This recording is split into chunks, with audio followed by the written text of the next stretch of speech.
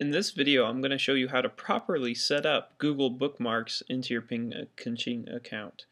Now, Google Bookmarks is probably one of the more complicated uh, sites to add into Ping It's not the most complicated uh, site to create an account on, but it does have one unique feature that makes it a little more tricky in getting it working correctly uh, on Ping So log into your Google Bookmark account that you've created.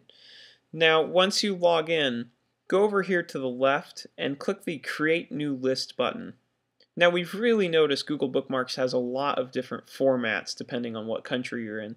So this might not be a button, it could be a, a, a list link. But once you've located the Create New List, click that button. A pop-up window will appear, and you're going to want to name this new list or folder. Uh, you can really name it anything you like. I try to stick to something very simple such as public space folder. Now this is very very important.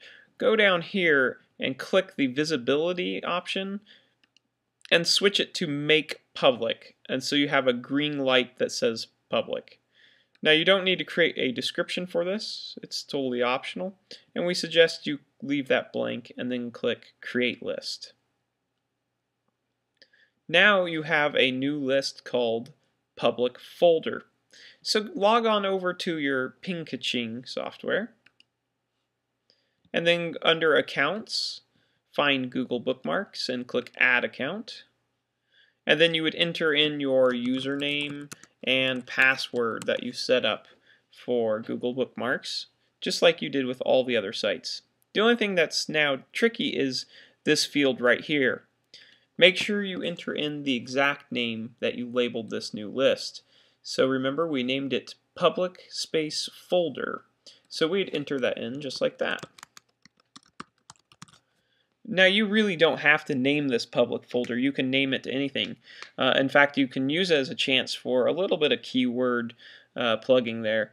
Um, if you were just submitting RC cars to this folder, you might name it RC cars. But just the important thing here is to make sure whatever you labeled this list, enter it in exactly the same here into Ping Kaching. Uh, even down to capitalization seems to make a difference. Now that you've done this, you have successfully created a public folder in your Google Bookmarks account. Without doing this, all the bookmarks made to this account would be made privately and would offer you no SEO advantage. This has been a short training video on how to successfully add Google Bookmarks into Ping Kaching.